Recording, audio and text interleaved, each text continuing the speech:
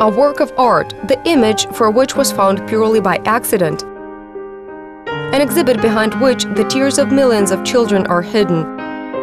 This was a crime that was hidden for almost an entire century.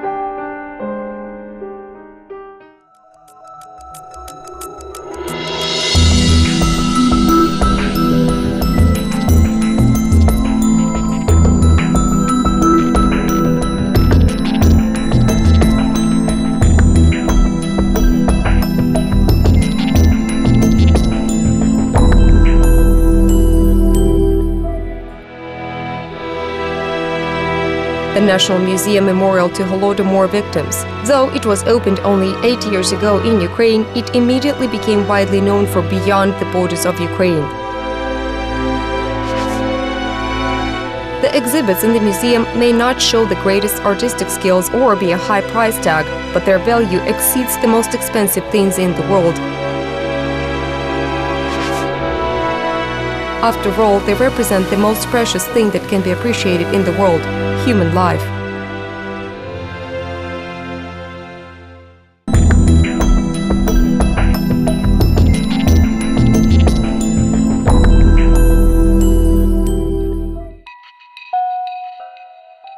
A round stone, a bronze sculpture of a lean girl is placed on it. When you look at it, you see all the pain that the children experienced during the Holodomor. It is very difficult to express in words the horrible experience and suffering from hunger over endless months. The girl gently presses five spikelets she is holding in her hands into her chest. Her empty eyes are full of pain and fear. This depicts the fear that somebody else will eventually have. The sculpture embodies the fate of children who became innocent victims of the Holodomor in 1932-1933. This girl is one of those one and a half million children at minimum who experienced a horrible death from starvation.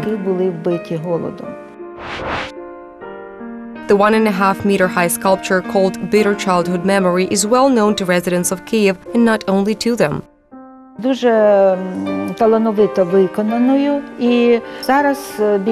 It is masterfully executed. Ceremonies of commemoration of the victims of the Holodomor constantly take place near the sculpture according to the state protocol. Foreigners who come to Ukraine lay flowers and put lit candles in front of the sculpture of this girl with spikilets.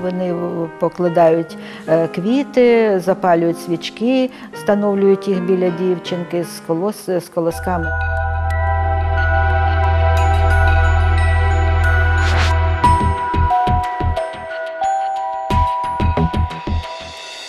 He voiced this idea, which was then realized by Kiev sculptor Petro Drozdovsky.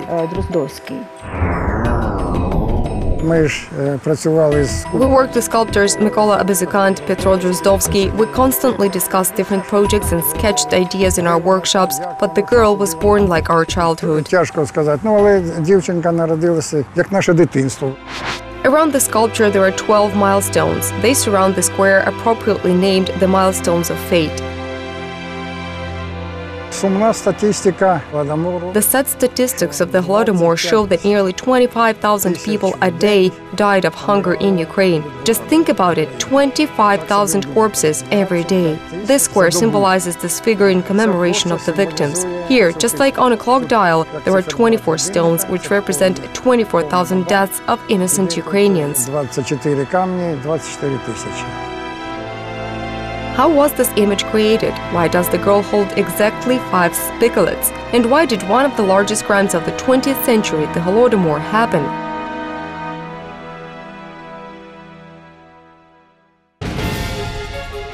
The so-called fifth column of Russia has always been in Ukraine. It remains here to this day. Those people always try to subordinate the Ukrainian state to their sponsor, Russia. The creation of the memorial of, to the victims of the Holodomor became perhaps the first signal of Ukraine's withdrawal from the zenith of a country that claims to have nothing to do with the war in the Donbass.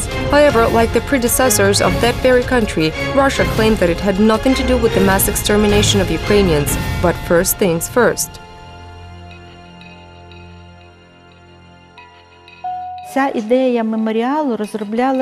The idea of the memorial was developed after the first decree of President Yushchenko in commemorating the 75th anniversary of the Holodomor. That was in 2005. In 2007, the construction of the memorial complex began. Although the location of the memorial was not chosen right away, the Commission considered completely different locations. Даже A contest was held for erecting a memorial to the Holodomor victims on Volodymyr's Hill. Certain artists were chosen as winners, but imagine a Holodomor memorial next to the monument to Volodymyr the Great. It is Pripovsterov's. That's how land was allocated then. Then Primakov Park was considered as a site for this sculpture. Anatoly Haidamaka insistently proposed to build the memorial here in Pechersk. In the end, a decision was made and Haidamaka became the author of the entire complex. Гайдамакою запропоновані певні скульптурні композиції на Haidamaka offered some sculptural compositions on the territory of the memorial, including the grove that opens up the panorama of the memorial at its entrance to the complex. Indeed, the idea became very successful and was skillfully executed. Дуже талановито виконаною. The sculpture turned out to be so successful that it was replicated. Very soon, the girl with five spikelets appeared overseas. She became the symbol of the Ukrainian Holodomor. Now there are two such sculptures in Canada. One of them is in High Park in Toronto, where there stands a monument to Taras Shevchenko. They showed it to me. And the other one, they built a large museum called Museum of Human Rights. The museum is very large, and our girl with the spigots is also there. We're getting ready for another one. There is a plot allocated in Toronto, another one will probably be there, but the first one was installed here in Kiev. Such a successful sculpture was not created all at once. The trio of masters, Haidamaka, Drozdovsky, and Obeshuk, could not immediately find the exact image that would convey the concept. You see, we wanted to make it naturalistic so that she would be very lean. That would have been naturalism. We did not want to step over such line of naturalism, the Holodomor, but like this, through this image. For a long time, brainstorming sessions gave no results, but one day Petro Drozdovsky called Anatoly Haidamaka as a messenger of some very good news. He found that image purely by accident somewhere on the beach in Kiev. The prototype of the girl with spicules was found on the beach. It was an accident, so to speak, but the emotions and the mental state of those whom the sculptors wanted to immortalize in this sculpture were known to them firsthand. The girl was born in the same way as we in our childhood. I recalled myself in my childhood. I survived 1947. There was another famine in the post-war years. My parents and grandparents survived the Great Famine of 1933. We can definitely say today that the Holodomor in Ukraine of 1932-33 was genocide against the Ukrainian people. A well-targeted strategy was developed for the sole purpose of exterminating the Ukrainian nation. Part of that strategy is reflected in the sculpture Bitter Childhood Memory. The girl in the sculpture is holding exactly five spikelets for a reason. Most researchers of the history of the Holodomor consider Joseph Stalin and his gang of murderers the main culprits of this heinous crime of the century. Сталін е, не міг пробачити українцям Stalin could not forgive the Ukrainians for their organized resistance to his policy, which began with collectivization of Ukrainian farmlands. The Ukrainians simply could not accept the notions of socialization of property and labor, which was deliberately developed and executed under the leadership of the communist Bolsheviks with the sole aim of destroying the Ukrainian nation. The fact of the matter is that the Bolsheviks viewed the collective farms as a convenient way of pumping out financial resources from the state budget and an effective way of accelerating industrialization to resolve the grain issue, and of course, the elimination of the main enemy of Soviet power, namely the prosperous peasantry. The leaders of the Communist Party spent two years conducting all kinds of theoretical research to justify the need for collectivization and keep the opponents of accelerated collectivization at bay. In response to these efforts, the communist regime in 1930, Ukraine launched a large scale process of uniting the peasants. Для тих планів those plans for the reconstruction of industry and forced industrialization required the concentration of food resources and raw materials in such economic forms that would allow for quickly and without hindrance extract agricultural products from Ukraine, which can be labeled with bitter sarcasm as the grain drain from Ukraine. For this purpose, the notion mass complete collectivization was conceived. The term mass could be constructed as engaging all independent farmsteads in the process and everything that was on those farms, mainly farm machinery, livestock, and agricultural products. Complete meant the engagement of adjacent villages, districts, and eventually oblasts in the process. But individual peasants did not really want to join those collective farms. To be more precise, they were categorically against this idea. Ой. І хотіли цю колоску. Не хотіли. Не прийшли. No, we were totally against the idea of joining collective farms. Just imagine, I have everything I need, and it's not just me, but every other farmer. Cows, sheep, horses, pigs, plows, and apiaries. Suddenly, we had to give everything away. How could we just give away all that we survive on?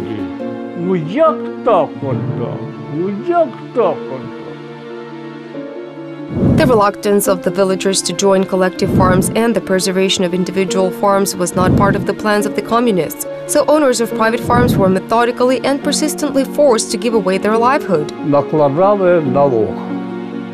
Накладали налог. Але People were taxed. There were mandatory taxes for everything. We had to give away that much rye, buckwheat, everything. Должен здати пшениці, стільки, жита, гречки і тому подобне, на все чисто. Виконав, давай ще доповнительний податок.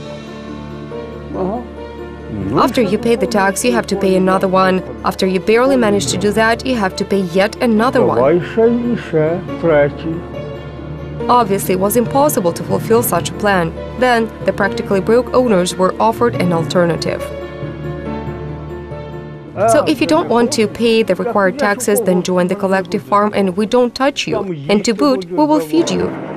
But even such sophisticated methods could not always break the strong and obdurate will of farm peasants to resist the authorities. Then they resorted to open violence. For these purposes, the so called Peasant Committee of the Poor was exploded Не йдеш, приходять активісти, п'ять чоловік, сім чоловік. Один, два заходять у хату, другий пішов. If you don't join the collective farm, five or seven activists come to your home. One or two go to your house, another one goes to your farm, the third climbs up into the barn, the fourth one checks out what is in your oven, and the rest of them go into the garden with cranes or sticks to check if you hit something there. Знайшов зерно, закопав.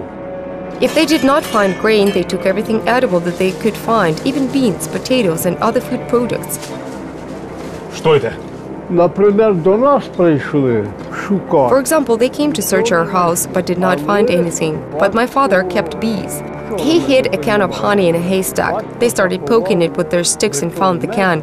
They took the honey away. So there you have it. That was the way things happened on collective farms in those years. О, знайшли.